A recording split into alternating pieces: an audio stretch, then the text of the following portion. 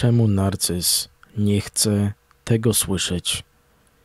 Kiedy wyrażasz swoje uczucia, kiedy mówisz o uczuciach narcyzowi, może mówisz mu, że jesteś smutny, nieszczęśliwy, zdenerwowany, czy coś cię dotyka, coś cię niepokoi, to narcyz nie chce tego słyszeć. Nie chce, żebyś o tym mówił. Narcyz nie chce Twoich problemów. Narcyz chce projektować na Ciebie własne problemy. Dlaczego narcyz nie chce słyszeć o tym, jak się czujesz, o Twoich problemach? Dzieje się tak, ponieważ wtedy odbiera to osobiście.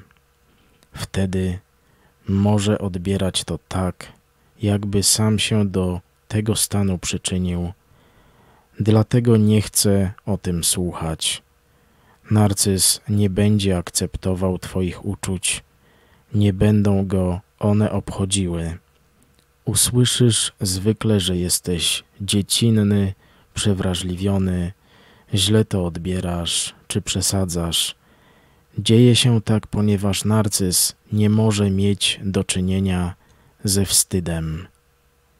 Narcyz odbiera to tak, jakbyś go za to wszystko winił, jakbyś winił go za swoje nieszczęście. Odbiera to tak nawet, jeśli jesteś nieszczęśliwy ze zupełnie innego powodu. Narcyz odbiera wiele rzeczy osobiście, podczas gdy chce uniknąć oskarżeń, chce uniknąć odpowiedzialności i wstydu. Umów się na prywatne sesje. Napisz na autentyczni 23 małpa gmail.com polub, skomentuj, subskrybuj, udostępnij. Pomoże to innym ofiarom narcyza tutaj dotrzeć. Naszym wspólnym celem jest zwiększanie świadomości w społeczeństwie i pomoc ofiarom psychopatów. Zostawiając polubienia i komentarze, wysyłasz wiadomość, że to, co robię, ma sens i jest potrzebne. Przyczyniasz się do rozwoju kanału i wspierasz naszą społeczność. Zachęcam do komentowania. Podziel się swoimi przemyśleniami, doświadczeniami z innymi.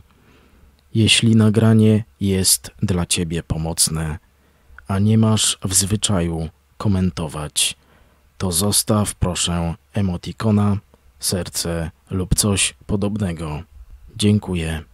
Kliknij dzwonek, by upewnić się, że otrzymasz wszystkie powiadomienia o nowych nagraniach. Jeśli chciałbyś także wesprzeć to, co robię, wysyłając darowiznę, skontaktuj się poprzez e-mail. Dziękuję i do usłyszenia wkrótce.